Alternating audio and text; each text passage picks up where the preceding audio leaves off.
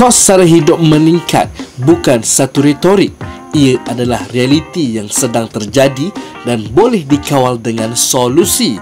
Suka atau tidak, perut harus diisi. Namun, persoalan penting rakyat, cukupkah wang yang ada di tangan?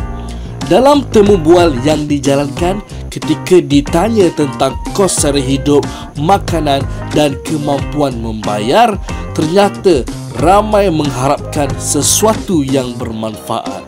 Bab makanan perlu diambil kira. ha, sebab makan kat luar mahal.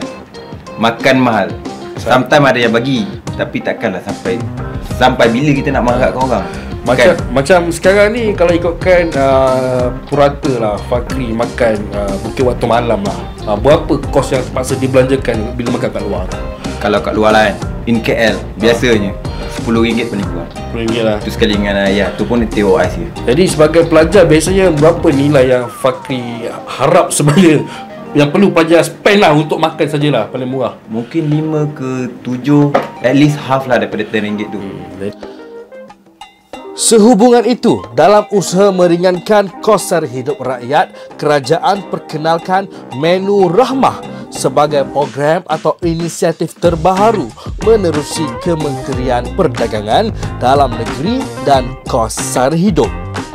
Setelah idea ini dilancarkan pada Januari 2023, lebih 1,500 pengusaha telah mengambil bahagian dan menariknya menu ramah yang bernilai RM5 ini masih boleh dinikmati rakyat Malaysia khususnya daripada golongan B40 sehingga hari ini. Uh, menu ramah ni ke yang kerajaan cadangkan tu memang baiklah untuk mana B40 yang boleh dapat makan yang makan bawah daripada RM5 dapat makan nasi, lauk, sayur.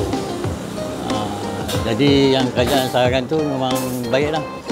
Uh, saya rasa baguslah sebab student pun macam tak kerja lagi. Jadi uh, bila makanan dekat luar tu harga yang menu rahmah ni sangat uh, membantulah student untuk survive kat dalam universiti. Program atau inisiatif ini juga telah mendapat sokongan rangkaian strategik yang terdiri daripada pengusaha kedai makan bermasak dan persatuan pengusaha restoran dan gerai makanan yang sama-sama mahu memastikan tidak ada rakyat Malaysia yang sukar untuk makan.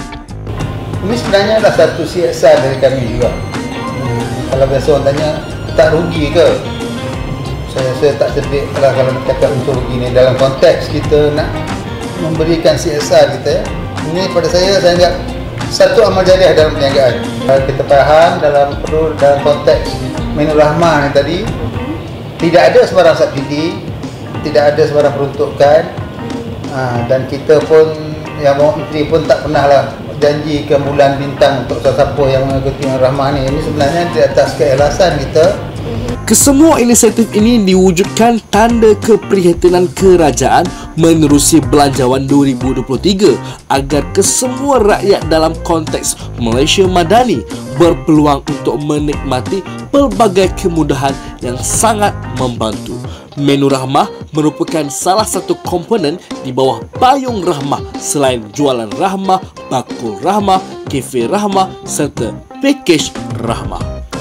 Sekiranya ingin tahu di mana lokasi kedai yang menawarkan menu rahmah dengan harga RM5 ini, lawati saja laman web yang berkait dengan Belanjawan 2023.